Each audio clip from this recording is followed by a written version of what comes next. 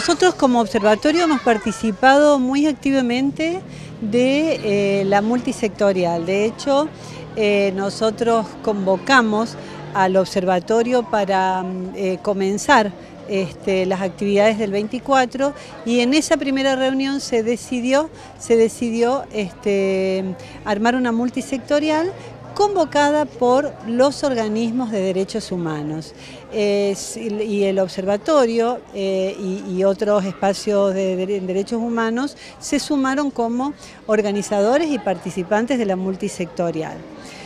Este, mm, bueno, hemos trabajado eh, como siempre en las distintas comisiones de prensa, de educación, logística y en realidad este, yo quiero destacar algo.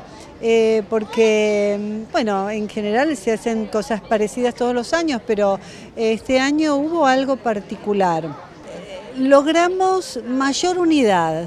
Eh, el año pasado también se hizo una sola marcha, pero este año, además de una sola marcha, hubo un documento em, donde mm, participan y acuerdan la mayoría. Solo eh, un, solo partido eh, eh, tuvo un disenso, pero de todas maneras, a pesar de ese, ese disenso, fue escuchado y se acordó que hicieran otro, otro documento, pero no significó para nada desunión, sino que por el contrario, en una convivencia democrática tenemos ideas distintas y se aceptó plenamente que se manifestaran en otro documento. La verdad que en eso eh, yo he quedado muy satisfecha porque desde el observatorio la principal, este, el principal objetivo fue la unidad.